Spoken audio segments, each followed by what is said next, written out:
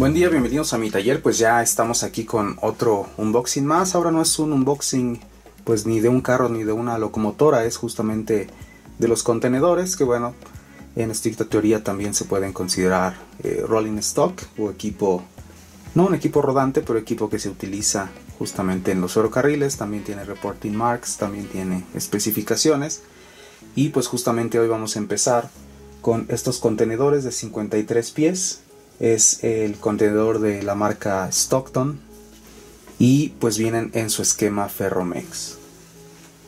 En el video anterior conocimos un poco eh, de dónde surgieron los carros portacontenedores o los well cars como se les conoce en inglés. Por lo que ahora vamos a aprovechar para hablar de una manera muy breve, muy rápida sobre los contenedores. Como lo platicamos en los años 80, Derivado de la necesidad del comercio internacional de mercancías, se requiere el uso de contenedores para poder intercambiar productos entre los continentes y además que pudieran ser cargados y descargados de una manera más rápida en los puertos del mundo. En los 70 el gobierno de los Estados Unidos estaba buscando una manera más eficiente para transportar bienes durante la guerra de Vietnam, por lo que empezó a buscar la estandarización de los contenedores para poder estivarlos de manera eficiente. De la misma manera, un contenedor con medidas estándar era necesario para los trenes, trailers, grúas y demás equipo que fuera necesario para el movimiento y transporte, para que pudieran ser diseñados alrededor de esa medida estándar. En sus inicios los contenedores fueron diseñados en 35 y 24 pies de longitud. Sin embargo, al momento de la estandarización se crearon un par de estándares ISO que fijaron la terminología dimensiones, clasificación, identificadores y medidas creando la configuración rectangular estándar que conocemos el día de hoy. Gracias a esos estándares tenemos contenedores de 20 y 40 pies de largo, siendo el contenedor de 20 la medida de volumen estándar TEU del inglés 20 Foot Equivalent Unit o unidad equivalente de 20 pies. Algunos datos interesantes de los contenedores hoy en día es en 1956 la carga de bienes costaba alrededor de 5.86 dólares por tonelada. Esto quiere decir que por cada tonelada que cargaran en el tren tenían que pagar 5.86 por ese manejo. Pero después de la introducción de los contenedores, el costo bajó más del 90%, a tan solo 0.16 dólares o 16 centavos por tonelada. En 1966 solo había puertos e instalaciones capaces de manejar contenedores en el 1% de los países del mundo. Para 1983, o sea menos de 20 años después, ese número se incrementó al 90% de los países. Antes de los contenedores, era posible cargar un barco de 1.3 toneladas de mercancías por hora. Después de su introducción, el, número incrementó a más de 30 toneladas por hora. Actualmente, cerca del 90% de todas las materias primas y productos terminados son transportados en contenedores. Al día de hoy hay más de 17 millones de contenedores en servicio en el mundo y todos realizan más de 200 millones de viajes por año. Hay más de 6.000 barcos portacontenedores en activo actualmente. Maersk Shipping Company es el operador más grande de contenedores en el mundo, con una gran flota de contenedores y barcos. El contenedor que revisaremos el día de hoy es un contenedor de 53 pies de largo, son más o menos 16.15 metros, de la marca Stockton, decorado bajo el primer esquema intermodal de Ferromex, contenedores totalmente en blanco con los logos y letras de Ferromex en verde. De la serie de los 234.000 y pues justo lo podemos ver aquí. Es un A-Turn Ready to Roll 72775 y justamente dice es un Ferromex 53 pies Stockton Container un tripack y justamente los tres son de la serie de los 234.000 Este modelo fue lanzado en agosto de 2021 y en esta corrida de contenedores salieron 13 esquemas diferentes. El esquema EMP con su reporting mark EMUU. El esquema NACS del North American Container System con su reporting mark DCNU. APL o el American President Logistics con el reporting mark APCU. El HV con reporting mark APHU. El DRT con reporting mark DRBU. El Ferromex, que es el que tenemos aquí, con reporting mark FXEU. El Stacks con un reporting mark también Stacks. El USA Truck con un reporting mark BNUU. El BNSF con un reporting mark compartido es HVBNSF. El JB Hunt con su reporting mark JBBU. El Schneider con el reporting mark SNLU. El Dart Intermodel con el reporting mark DRTU. El Quick Tracks con su reporting mark QTXU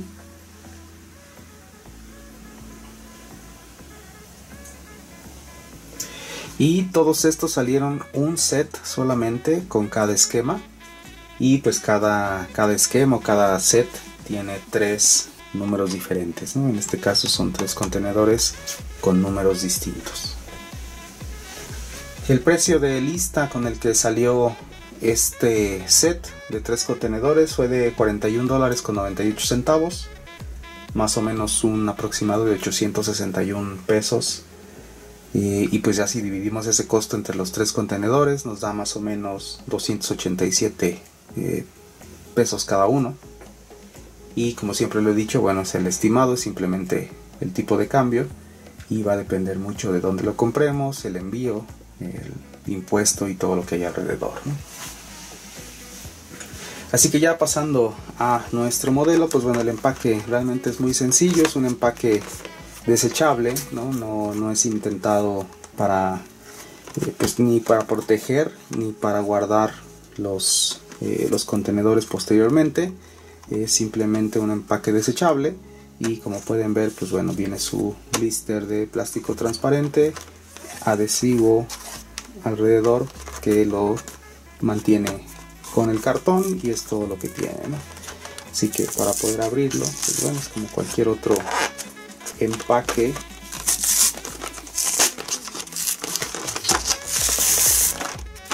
simplemente despegamos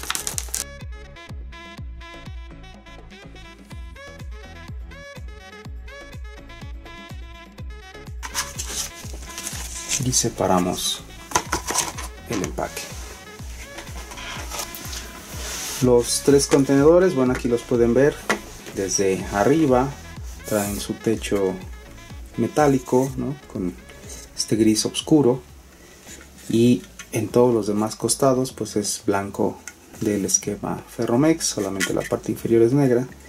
Y pues eh, todo esto es plástico, es eh, ahora sí que todo el cuerpo y la base es plástico, aquí no tenemos contrapesos, no tenemos piezas de metal, los tres son de la misma construcción, y pues los detalles que trae este tipo de contenedor pues es justamente ¿no? en su extremo donde vienen las puertas vienen las varillas para la cerradura. Vienen también simuladas las bisagras de las puertas. Y pues se puede ver en el costado en todo el lateral como vienen los postes y también los remaches de cada uno de los postes que vienen simulados podemos ver la parte frontal, la que va justo hacia la cabina cuando se le pone sobre un chasis, aquí iría el tráiler. Y pues justamente el detalle del corrugado del piso. Entonces los tres son iguales, son rosters distintos. Este es el 234.728. Aquí tenemos el 461 y aquí tenemos el 270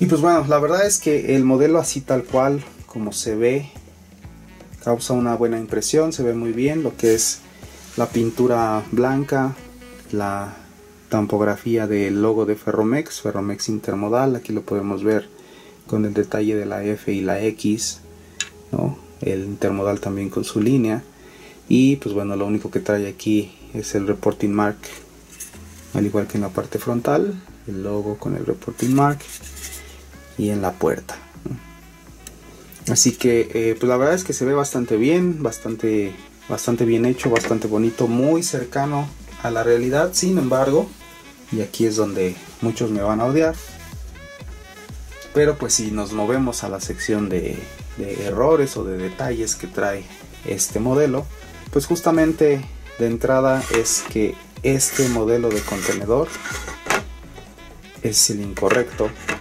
Este modelo no es el que usa Ferromex. Eh, Ferromex sí tuvo este esquema, sí tuvo este tipo de, eh, de configuración de blanca con este logotipo de Ferromex. Fue de sus primeros, sino que el el primer esquema intermodal ya propio de, Ferromex en contenedores de 53.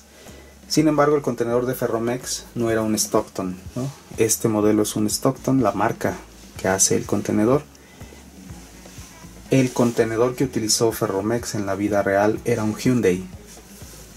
Así que si bien las medidas del contenedor son las mismas por el estándar ISO, el modelo no es el correcto. Y lo podemos ver en las imágenes.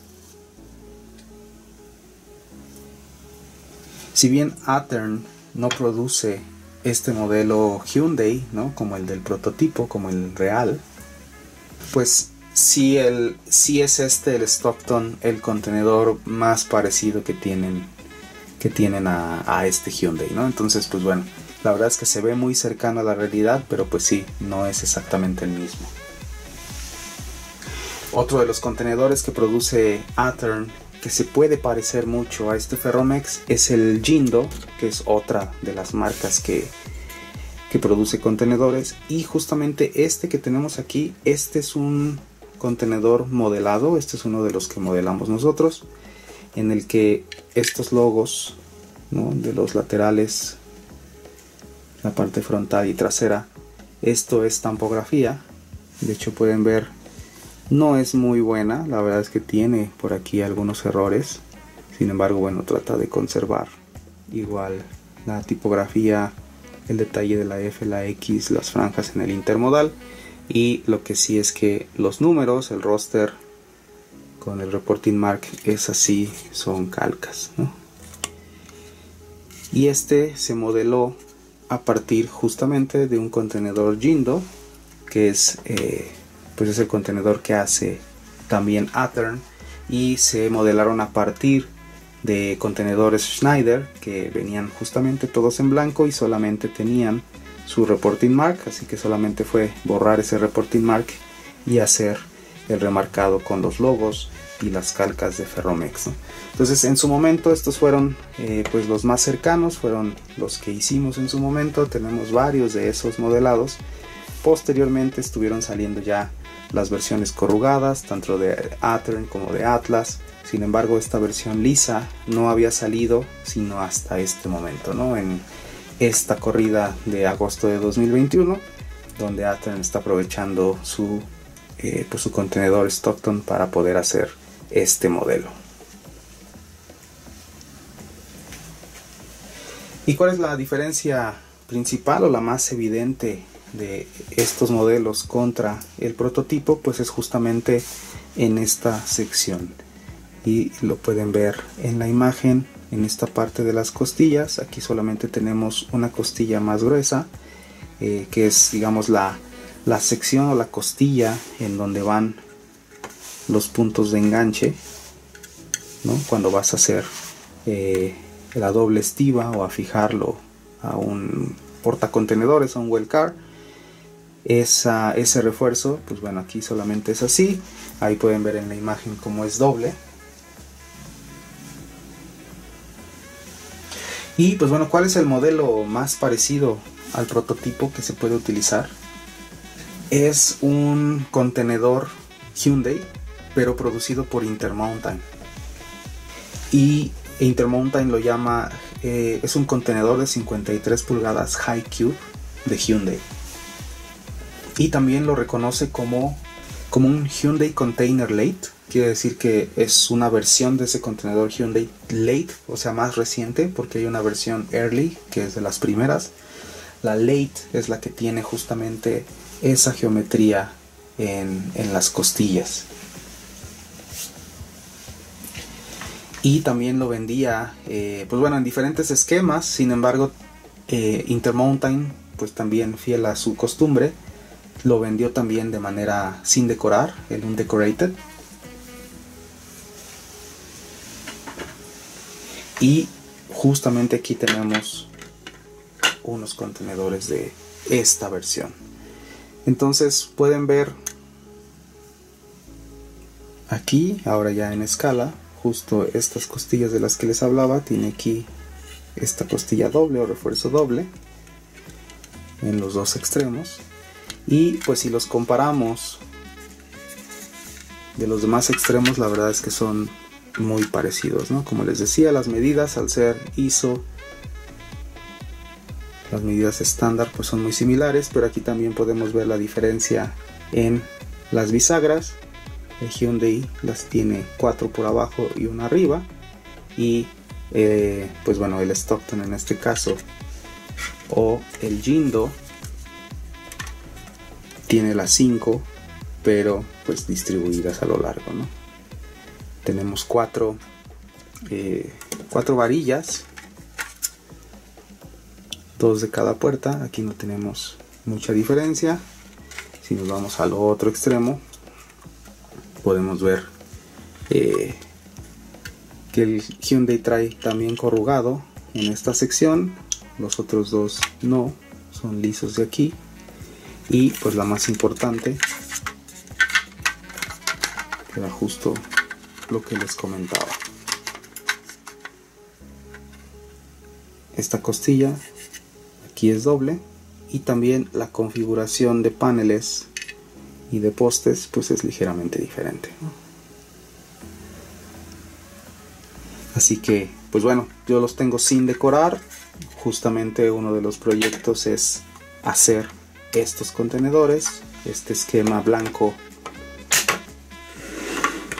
de los primeros contenedores que todavía circulan todavía andan rodando ahí por las por las vías del país, ya en combinación con los corrugados también blancos, pero también ahora ya en combinación o en conjunto con los corrugados grises, que también apenas van a salir de parte de Athern y haremos su revisión en su momento, y también ya los rojos que andan por ahí circulando corrugados, ¿no? con estos nuevos esquemas de grises de Ferromex. Así que pues bueno, tenemos ya bastante eh, variedad, ya bastante oferta. Vamos a buscar de qué manera, eh, pues cuál va a ser la mejor manera de hacer este modelado, porque estos hay que pues pintarlos desde cero, pintarlos todos de blanco y después agregar la base eh, para poder poner la tampografía, las letras, los números. Entonces, pues bueno, tal vez este proyecto tarde todavía un poquito más, pero bueno, ya tenemos el modelo correcto para poder modelar este tipo de contenedores. De cualquier manera, estos los han visto correr ya, los que yo modelé hace años, los han visto correr ya en trenes intermodales, en varias convenciones o en el mismo club. Así que tampoco le piden nada a, los que acaban de salir. Y también estos pues se van a ver muy bien corriendo en un intermodal. Entonces realmente pues simplemente es como lo hemos dicho muchas veces, para los cuenta remaches, este sería el modelo correcto. Y si no, el que acaba de sacar Athern es un modelo perfecto. Así que pues bueno, eh, no vale eh, la pena seguir hablando de los detalles y de los errores porque como les digo no es el modelo correcto, por lo tanto los logos de Stockton pues no van, deberían de ir logos de Hyundai. Y pues lo mismo en la parte de las puertas y configuración de costillas. Y pues bueno, en cuanto a las normas de la NMRA, pues obviamente estos no tienen coples, por lo tanto no se va a medir la altura de los coples. Y la, lo que es el peso, la norma de peso, pues bueno, tampoco aplica realmente porque eh, este contenedor va a ir sobre una plataforma, sobre un well car. Y lo vimos en el video anterior.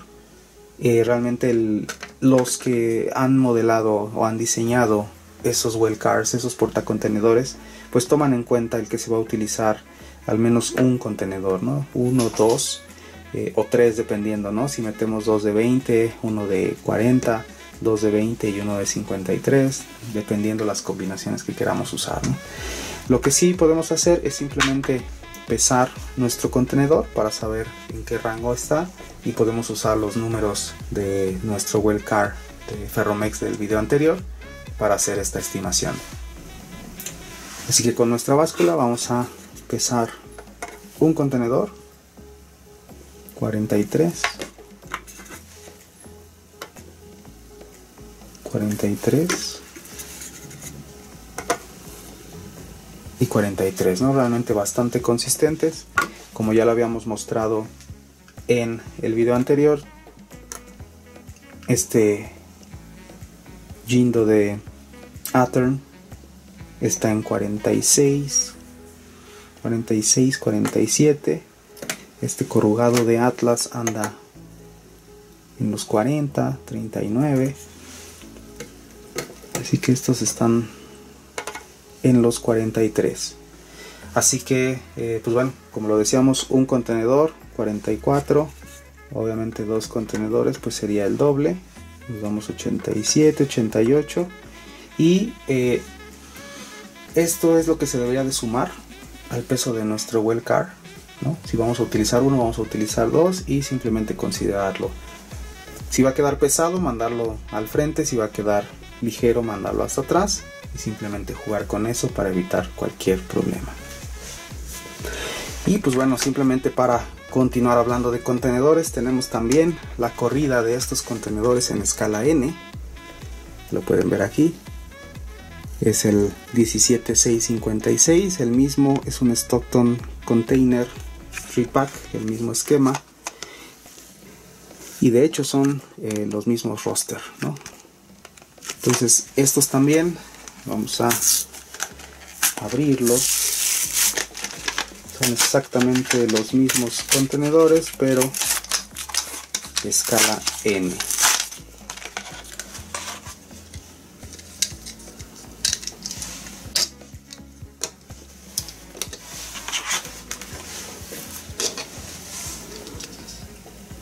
mismo nivel de detalle tanto en la parte trasera las puertas las varillas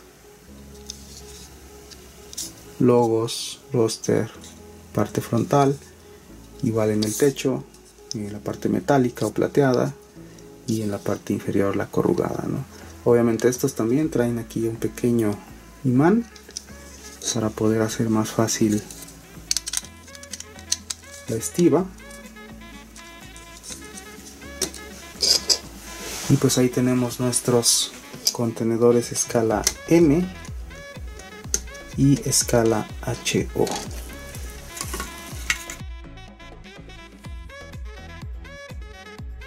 aquí está el contenedor Stockton de Atom Ready to Roll en el primer esquema intermodal de Ferromex